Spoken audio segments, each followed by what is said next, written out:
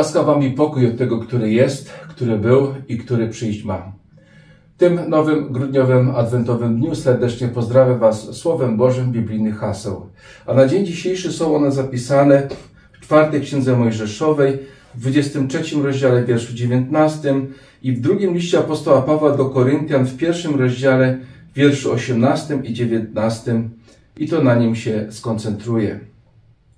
Bóg nie jest człowiekiem, aby nie dotrzymywał słowa, ani synem człowieczym, aby żałował. Paweł napisał: Wierny jest Bóg. Tak słowo nasze do Was nie jest równocześnie tak i nie, albowiem Syn Boży Chrystus Jezus, którego Wam zwiastowaliśmy, ja i Sylwan i Tymoteusz, nie był równocześnie tak i nie, lecz w nim było tylko tak. Zacznij telewizowie chrześcijańskiej telewizji internetowej. Ten dzisiejszy fragment listu do zboru w Koryncie skupia się na uzasadnieniu przez apostoła Pawła przyczyn odroczenia jego odwiedzin właśnie w tym mieście, w którym już kiedyś raz był. W imieniu swoim i Tymoteusza apostoł pisze do Koryntian i tu uwaga, zarówno do przyjaciół i wrogów. Pisze do mieszkańców całej Achai, jak czytamy w pierwszym wersecie tego listu, tłumacząc się niejako ze zmiany planów swoich podróży. Tłumaczy się niejako. Za chwilę wyjaśnię, dlaczego tłumaczy się niejako. Dochodzą bowiem do niego informacje, że w Koryncie psują się nastroje. Czytamy w pierwszym liście do Koryntian w czwartym rozdziale wierszu 18. A niektórzy wzbili się w pychę, myśląc, że nie przyjdę do was. I tutaj Paweł zostaje posądzony o tchórzostwo, o brak chęci, dobrej woli. Być może niektórzy czują się obrażeni, zawiedzieni, że miał przyjechać, a nie przyjechał, a być może nawet o strach przed odwiedzinami.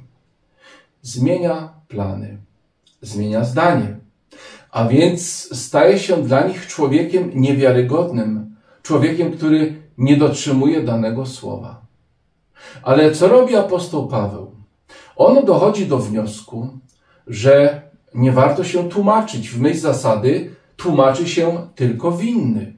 Dlatego on wytacza potężne działa, mocniejsze argumenty. Ci źli i nieprzychylni jemu ludzie i tak doszukiwaliby się w jego tłumaczeniach jakiegoś, nie wiem, sprytnego podstępu, krętactwa i pobudziłoby to tylko jego oponentów do nowych, być może mocniejszych ataków. Kieruje swoje słowa zatem do nich, jak i tych, którzy są jego przyjaciółmi, którzy stali zawsze przy nim, którzy jemu ufali. I co chce zrobić apostoł Paweł? On nie tłumaczy się wprost, ale Paweł chce powiedzieć głośno: hola, hola, chwila, zatrzymajcie się, pomyślcie chwilę. Przecież tu chodzi nie o mnie samego, ale tu chodzi o Boga, absolutnie godnego zaufania. Tu chodzi o Jego Syna Jezusa Chrystusa, zawsze na tak, a nie na tak i nie. Tu chodzi o Boże obietnice w Synu, które zawsze są na tak i tak niechaj się stanie.